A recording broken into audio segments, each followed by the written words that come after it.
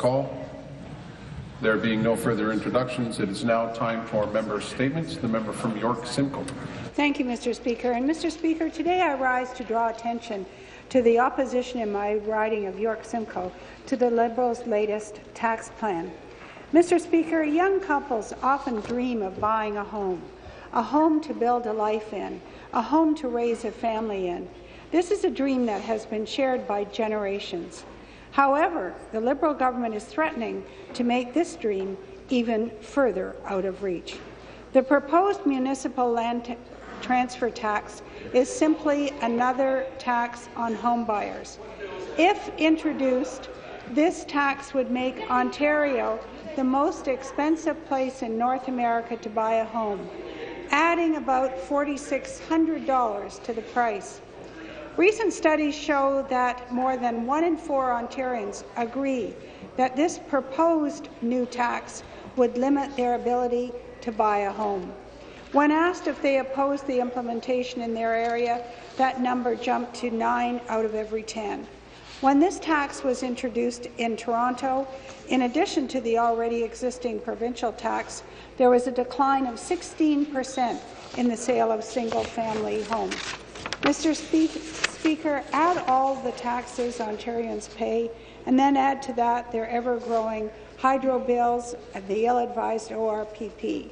Quite simply, our taxpayers are tapped out. This tax is an unfair burden on our young couples and families who are working hard towards their goals. Thank you. Member statements. The member from Kenora Rainy River. Thank you, Speaker. I have been inundated by pleas for help from desperate Northerners who are struggling to stay afloat. Northerners are telling me things like, quote, I live in Dryden and food prices are terrible. You cannot afford to buy meat unless it is on sale.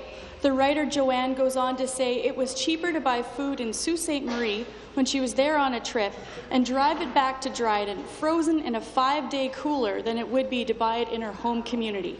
Jamie writes, When I'm visiting my dad in southern Ontario and see how cheap groceries are there in comparison to here, I am in total disbelief. Food prices are getting exorbitant and unaffordable. And these are examples from the urban areas in my riding. Only Ontario's one percenters can afford to buy nutritious food in our remote First Nation communities. Speaker, Northerners are pushed to the brink, and they see the writing on the wall. We know what happens when the cost of living outpaces our wages, pensions, and social assistance rates. It means we can no longer cover essentials like food, housing, and hydro bills. As one Northerner succinctly writes, between the price of food and ever-rising cost of hydro, I think many more of us will become homeless in the next five years. Speaker, this government has a lot of catching up to do to ease the heavy burden on Northerners. We are looking to this provincial government to do the right thing and act now to make life more affordable in Ontario's north. Thank you. Further member statements. The member from Etobicoke Centre. Thank you, Speaker. This week, Mr. Speaker, is Holodomor Awareness Week, and I'm standing to pay tribute to the Holodomor. This week, we pay tribute to the 82nd anniversary of the famine genocide known as the Holodomor, when Joseph Stalin closed Ukraine's borders, confiscated all grain, to destroy a Ukrainian population that was opposed to his rule, a population that sought the same freedom, the same independence that the people of Ukraine are fighting for today. 17 people per minute 1,000 per hour and 25,000 per day were dying at the height of the Holodomor, Mr. Speaker. The world was silent, and millions died as a result. My grandmother was one of the people who survived the famine, and she used to say that she would hope that the victims of the Holodomor would not only be remembered, but honoured. Honoured, she said, meant not just remembering or commemorating them, but taking the steps to make sure that a tragedy like this one never happens again.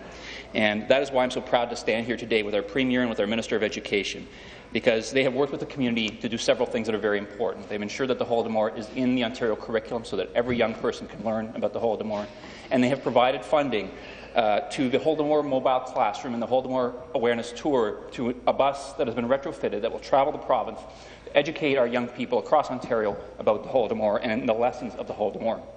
This week it is important that we not only commemorate Speaker and we remember, but we also redouble our effort and our commitment as a people to learn from tragedies like this one and make sure that tragedies like this, crimes like this, never happen again. And today, by taking these steps, the Premier, the Minister of Education, I think have done what my grandmother and what so many victims in the past have asked for. They have helped to commemorate the victims, they've helped to remember the victims, and they have helped to honour them. Thank you, Speaker. Thank you. Member the member from Carleton, Mississippi Mills. Mr. Speaker, I am honored to rise today to speak about Tamil Remembrance Day. I would like to welcome to the legislature my friends from the Tamils for Patrick team, the transnational government of Tamil Eelam, the Uthayan newspaper, Ekur er, Ruby, and CMR Tamil Radio. We all remember and mourn people who were killed during the war in Sri Lanka. For the, for the people of Tamil Eelam and for Tamils living in Canada and many other parts of the world, the 27th of November is the day on which they remember and mourn over 100,000 people who were killed during the war. None of the perpetrators of this war crime have been brought to justice. The genocidal onslaught for the Tamils in the island of Sri Lanka is still a reality in many parts of the island, and they seek the attention of the greater Canadian community and its support in order to live with dignity and freedom in their own land. On this day, they seek to rededicate themselves to the cause of justice, freedom, and elimination of racism, for those who have died shall not have died in vain. Like all free people in this world, the Tamil population also want the freedom to express their political will through a referendum in accordance with international norms on the island of Sri Lanka and in the Tamil diaspora. To many friends in the Tamil community, some who are here today that have made Ontario their, Ontario their home after experiencing the tragedy of this genocide in Sri Lanka. The Tamil population has contributed significantly to our province, and their warm generosity and rich culture is reflected in what makes Ontario great. On behalf of our leader, Patrick Brown, and the PC caucus, I say that we stand firmly with you in your quest for peace, freedom, and justice in Sri Lanka, as well as the elimination of racism everywhere. Thank you.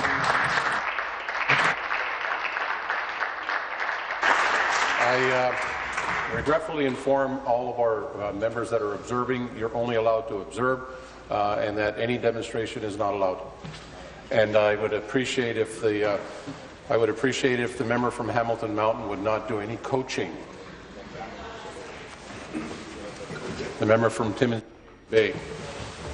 First of all, Mr. Speaker, I want to make sure that our guests here understand that uh, New Democrats support uh, what was just said. I'm here today in order to report some good news, Mr. Speaker, from the James Bay coast and Attawapiskat.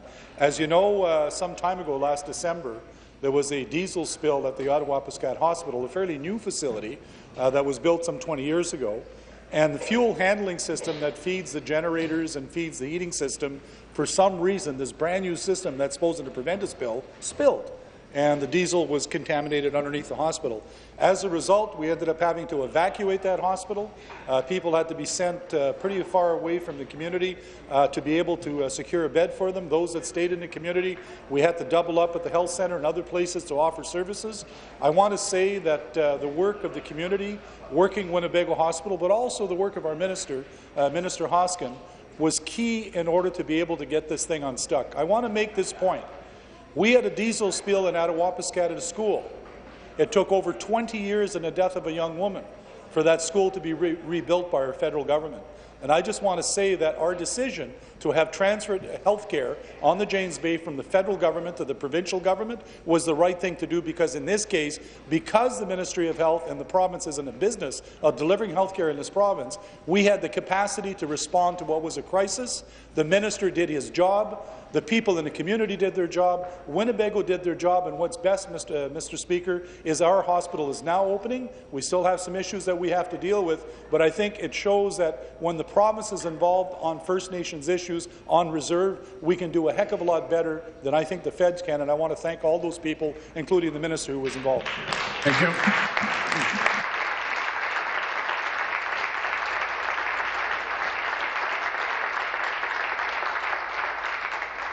Thank you. Further member statements. The member from Newmarket Aurora.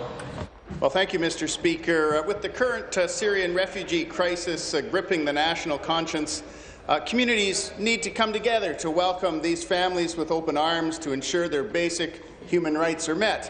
One organization in my riding of Newmarket Aurora is making a difference. It's the Interfaith Refugee Resettlers. This organization is made up of members from Trinity Anglican Church, Aurora United Church, and the Newmarket Islamic Centre. Together, they're working to sponsor a refugee family. This includes, of course, raising funds for accommodation, food, clothing, and ESL training to help the family transition to life in Canada. Together uh, with uh, ORA, a Canadian charitable uh, uh organization that is assisting in the sponsorship and resettlement of refugees, the Interfaith Refugee Resettlers have set up their subcommittees, and they're well on their way to raising their $30,000 target. In fact, they're confident they'll be able to raise double that and perhaps bring two families to, uh, to Newmarket Aurora. Uh, it's their hope and mind that the, the residents of Newmarket Aurora and communities across the country come together to support future families that will be starting new lives in Canada. I'm also proud uh, to represent a government that promotes a welcoming and inclusive society by supporting the plan to bring 10,000 Syrian refugees to Ontario.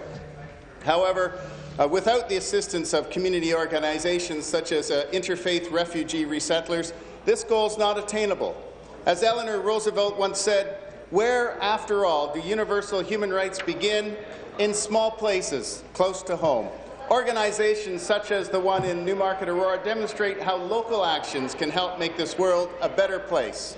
Thank you. Member from Niagara West. Thank you, uh, Speaker. You know, um, it was just over a year ago that I stood here and talked the, death, the death of Art Fleming, one of the uh, most respected uh, and beloved figures in West Niagara. And today, sadly, I want to acknowledge another great man from the community of Beamsville in West Niagara who we lost to cancer on November 15th. And sadly, it's Art's son, Thomas Fleming. And I can't imagine the depth of loss uh, at such a young age and a vibrant man um, that his wife Joanne has gone through, their children Andrew and Rachel. And my heart particularly goes out to his mom Val, who sadly has buried both her husband and her son within a year. You know, Speaker Tom learned a lot from his dad, both in business and in life. He had strong business smarts. He successfully ran the local family business, Fleming Chicks, and he's at Queen's Park many times. I suspect many of my colleagues here will remember Tom. He was a leader in the poultry sector. He's known for his uh, firm, warm grip, his bright smile. I suspect, Speaker, he voted the right way, but he had tremendous respect for this institution and the work that's done under this roof. He always had a bit of a mischievous twinkle in his eye, too. I remember the first, one of the first times I spent with Tom, who was always a great advisor to me on agricultural issues. I went to the Fleming's chicks. So newly hatched chicks come out on a conveyor belt, and they go around in a circle. And then those working at Fleming chicks sort out the chicks between male and female chicks. They grow at different rates. So he asked me to take part in this. And there's no pink or blue diapers for the chicks figure. So I did, to confess, I hope it's parliamentary, what most people would do. I look between the chick's legs. Thought that was the biggest route. Doesn't work so hot for chicks. It's something to do with the wings. I don't know if I still have learned, Speaker. So Tom and his team had a good laugh at that. I suspect it was not the only politician who's been put through that process. But it spoke to his, his spirit, um, speak fondly of his strength in the community, he also was a great singer, always led his choir. So knowing Tom's character, his strong Christian spirit, his great singing voice, and the fact that he's not afraid to throw a few elbows from time to time, he's probably leading a choir of angels now, Speaker. Sure. Try to say. Great man, sad loss, one of our leading citizens of West Niagara. He'll be missed. Thank you. Further member status, the member from Brampton Springdale. Thank you, Mr. Speaker. In recent weeks, there, have been, there has been an upsurge in racially motivated and unprovoked attacks on the Muslim community. Here in Ontario, a string of suspected hate, hate, crimes have taken place in the days following the horrific Paris attacks. A mosque in Peterborough was badly damaged by a fire that appears to have been set deliberately. In Kitchener, a Hindu temple's windows were broken by rock-throwing vandals. And in Toronto, a Muslim woman reported that she was attacked while on her way to pick up her children, and that two men who beat her called her a terrorist. These are just a few of the incidents. It is likely that these incidents are misguided retaliations by a few malicious individuals for what happened in Paris, but that does not make it acceptable. Such violence has no place in our society. These hateful incidences are completely conflicting to Canadian values. We are all inclusive. We are an all-inclusive global community. We must accept everyone as equal human beings. The safety of all Ontarians is the collective responsibility of this government, and it is my job as the member of, for Brampton Springdale to raise issues affecting my constituents. I call on our law enforcement agencies to ensure swift action is taken against these per- perpetuating violence and ask everyone to remain vig- vigilant. Ultimately, whether it happens in Paris, Baghdad, or Peru, or here in Ontario, an attack that causes terror is a terrorist attack. Such cowardly attacks of violence are affiliated with nothing but their own evil. As Ontarians, as Canadians, we must stand in solidarity in condemning terror, which has no place in our world. I stand with all our brothers and sisters of the Muslim community in condemning these acts. Family, friends, colleagues, and neighbours have been affected by violence and vandalism. Let us stand as one in providing support to those deeply affe- affected by these horrific attacks. Thank you. Thank you. Further member statements, the member from Etobicoke Lakeshore. Thank you, Mr. Speaker. In uh, the spirit of the season, I want to bring to the legislature's attention that for the past 25 years, uh, Santa Claus has arrived a little bit early in Etobicoke Lakeshore as our residents celebrate the start of the holiday season with the annual Etobicoke Lakeshore Santa Claus Parade. This is the 25th anniversary of the parade, ranked as one of the four best in Ontario. The parade plays an important role in our community, bringing together local businesses, industry, and residents to pull together the best possible event to welcome Santa Claus to our neighbourhood and to the region. There will be 15 amazing floats by, created by volunteers, 10 marching bands, representatives of first responders, athletes, and mascots like Carlton from the Maple Leafs and Jason from the Argonauts, and over 250 local volunteers costumed as characters, uh, clowns, polar bears, and smurfs. Local organizations like Storefront Humber and Lamp Community Health also uh, get in on the fun. Uh, Mr. Uh, Speaker, this parade is filmed by Rogers Cable. It attracts about 60,000 people out each year. And uh, again, I want to thank uh, the BIAs of Lakeshore Village and Long Branch for getting together uh, to help launch this uh, 25 years ago by just borrowing some trailers and getting a group of uh, local people together to work on it. People like uh, local realtors Carl and Liz Porritt, uh, who donated a great deal of time and uh, spirit to have this done. I have the honour of having helped the organizers to secure their very own Santa's workshop over the years where they can work and store the floats throughout the year. And my six-year-old daughter can't wait to join me at the Etobicoke Lakeshore Santa Claus Parade on December 5th and uh, greet Santa to Etobicoke Lakeshore. Thank you. The only thing that saved you was invoking Santa Claus, so I just am going overtime.